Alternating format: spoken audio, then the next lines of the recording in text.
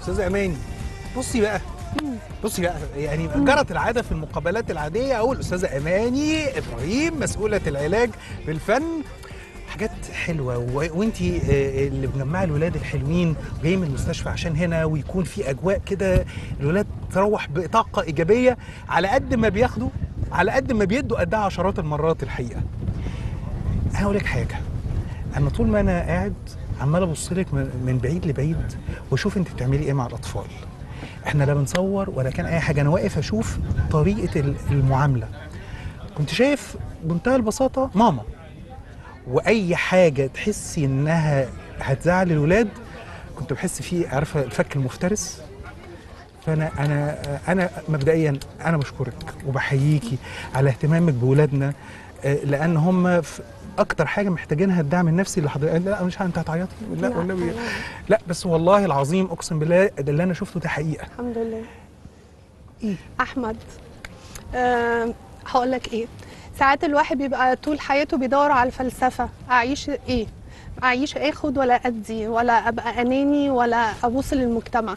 دعيت ربي كتير إنه يستخدمني ولقيت نفسي في وسط في وسط ملايكة. ملايكة محتاجين حاجات بسيطة جدا القبول. يعني هو طفل مريض ومحتاج حد يقول له أنت إنسان وطفل وتستحق السعادة. تيم كبير كبير. بي ربنا مستخدمهم إن هم يساعدوا الأطفال يحسوا بجزء صغير من السعادة ودي شغلتنا. أنت فاكرة إن دي بسيطة؟ مش بسيطة.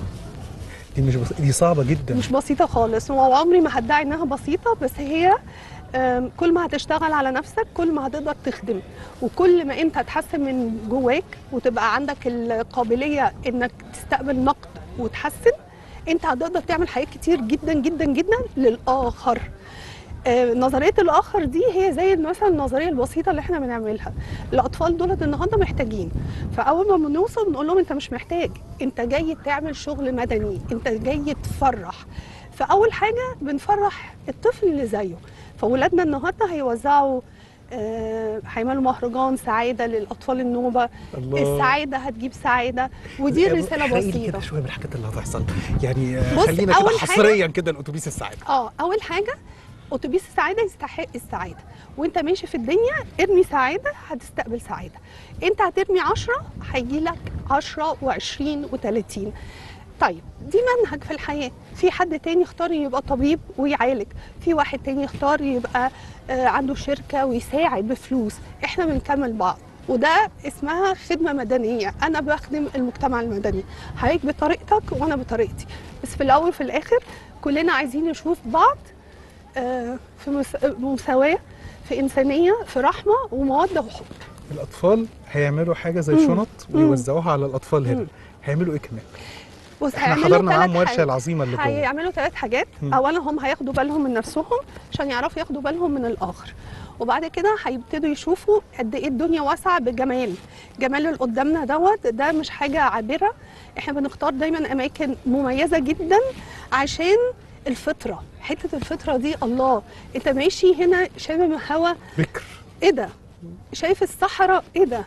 الجمال لما عينيك تملى جمال جواك يبقى جواك بيشع جمال من غير ما تتكلم.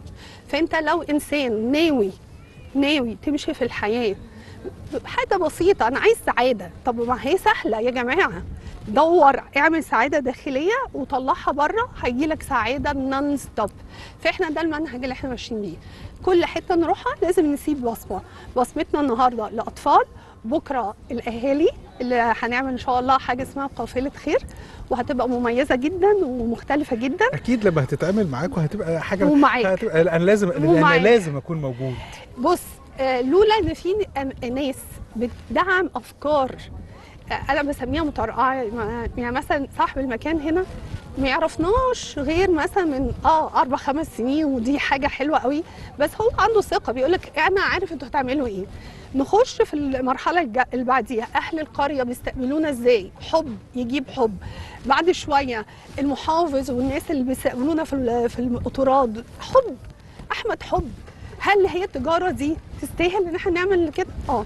دي تجارة إحنا مستفيدين. وأنت منهم. انت انت اتعلمتي من الأطفال إيه؟ طيب. أول حاجة الشجاعة. أنا بواجه الموت. أنا مش بواجه وحش كاسر. لا مش ولا دي أنا بواجه الموت. فغيب آه، مش فاهمه. آه، همشي وأسيب كل حاجة وأنا طفل وبسأل سؤال. وكبير على سني أوي، أنا ليه كبير أنا؟ على إدراكي و- آه. وهو أبسط سؤال ممكن طفل يسأله هيقول ليه أنا؟ ليه؟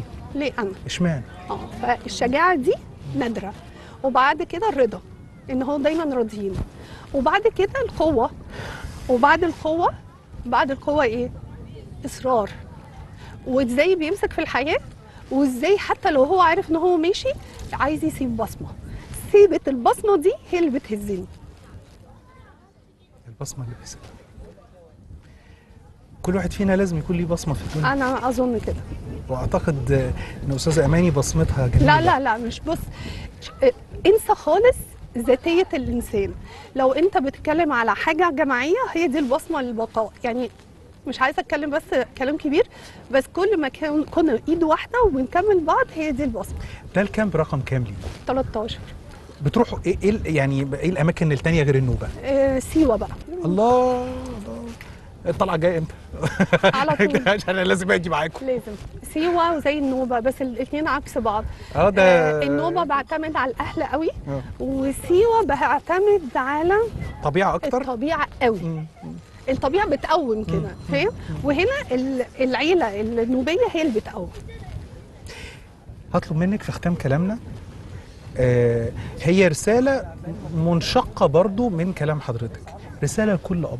ولكل أم ابنهم عنده كانسر ودخل في مرحلة الحرب و و ومش كل الآباء والأمهات عندهم آه، فكرة ال- القبول السريع. هو إحنا بنمر بالصدمة بعد كده فكرة بي- بيمروا بمراحل يأس.